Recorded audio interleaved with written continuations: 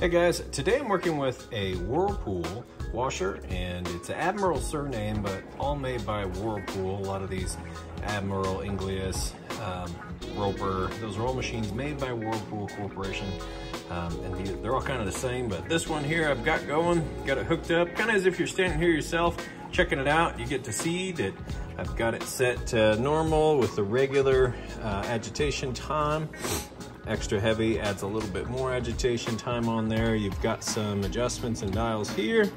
It's going through the wash portion.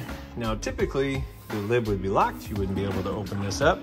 However, I just took the two little screws out here so I could put the locking mechanism in. That way we can open it up and you can actually see what's going on here. Uh, I like people to see that these are actually working correctly. So here we've got full submersion. The clothes are completely submerged in water and the agitator is doing its job, uh, getting those clothes moved around and clean. So uh, this machine has the ability to really clean those clothes with the full submersion and you get to adjust how much water is being used with this dial right here. So next it's going to, after it washes for a while, it's going to drain out, fill back up with clean water, and it'll do a rinse cycle there where it agitates with clean water. Then we'll do the final spin. So I'm going to show you it drains the water out. Uh, then when it is all done, it has a nice, fast, smooth final spin cycle. So we'll allow to move through here. I'll try to keep this video kind of short. Um, but that way you get to see every aspect of it is working perfectly, and then we'll move over to the dryer. Okay, we have drained all the water out. We're into the final spin cycle. See it spinning nice and fast. Smooth operation.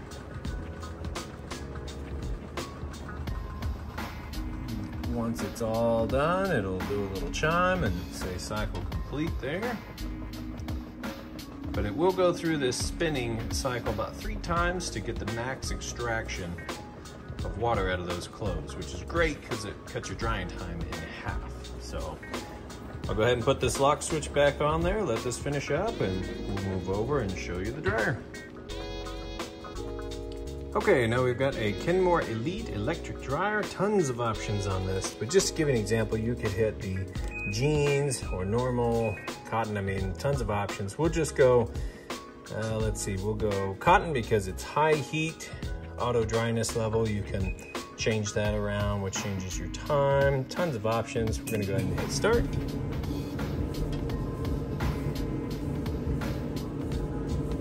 You can hear it running, tumbling. Nice smooth operation, nice and quiet. I'm gonna give it just a minute to heat up, then I'm gonna show you that it is in fact heating like it's supposed to. Okay, been about almost two minutes now, and I've got a surface temperature gun. So right in between those two red dots, it's gonna take your surface temperature measurement. So it's about 80, 85 degrees Fahrenheit on the top of this machine. If We shoot it down on the floor, you'll see uh, the floor is much colder. So go ahead and open this up, right inside the heating element tube. So you can see plenty of heat coming out of that tube there. And uh, that in turn is going to heat the inside of your dryer up anywhere from about 95 up to 195 degrees, which dries your clothes. You've got your lint trap right here.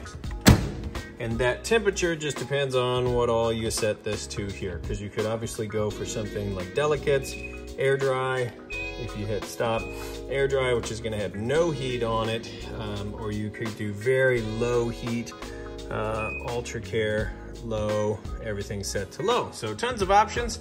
Now you can see as if you're standing here yourself testing it out, everything works perfect. Go ahead and get it listed up for sale. I do appreciate you taking the time to watch my video. Thanks, you guys have a great day.